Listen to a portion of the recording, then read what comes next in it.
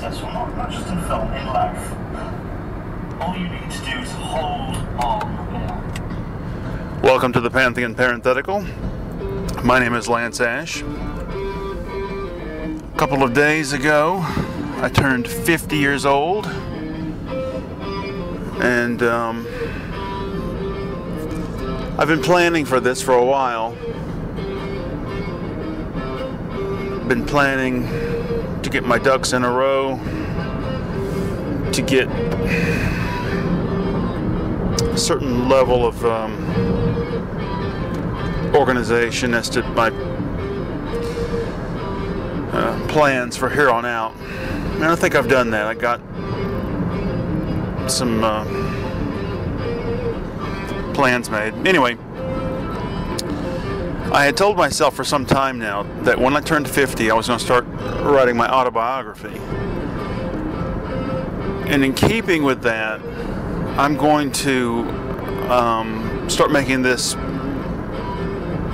program a little more overtly autobiographical. And um, so I'm going to start telling the story of my life, true stories from my life, as much as I can. There's certain people that will get their feelings hurt if I tell certain stories or tell tell stories in a certain way. So I don't want to do that. Um,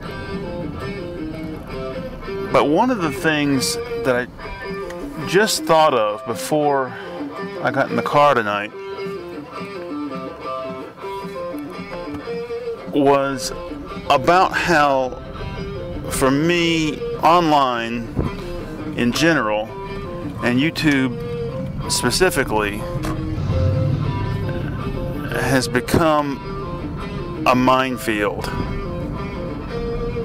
I mainly watch or listen to YouTube videos for uh, my screen based entertainment. Um, I do a lot of drawing and painting, and I've just gotten to the point where listening to music usually doesn't cut it.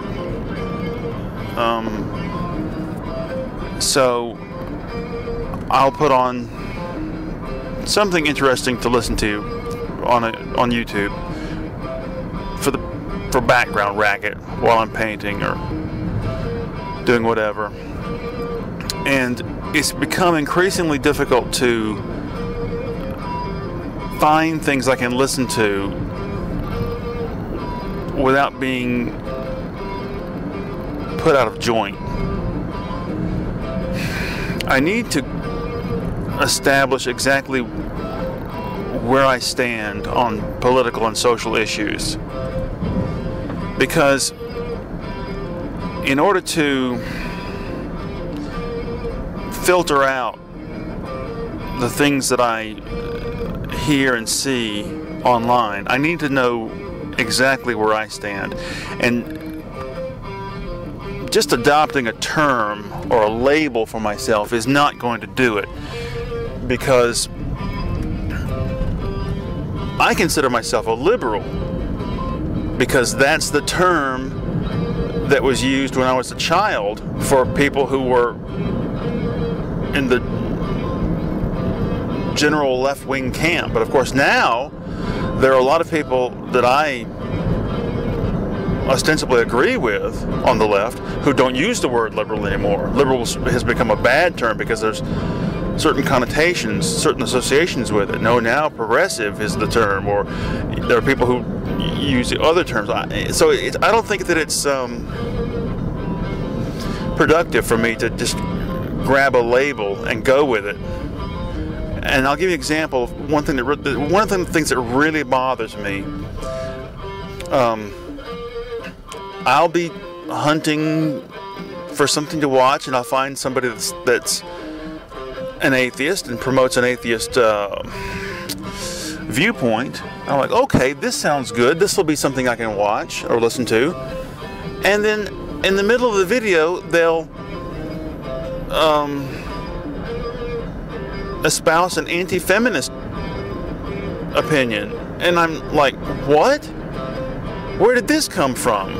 I thought I naively assumed that because you agree with me on this issue, that you would agree with me over here, or there'll be anti um, social programs, to put it in that term. Um, so, I mean, I don't know if I should raise the flag here on the program or not to say who I am, where I stand, you know, a laundry list of policy positions. I, I don't know. But anyway, we're approaching the end of the episode. I meant to talk about something else, but it didn't go that way. Anyway, that's the end of the episode. So thank you very much for listening.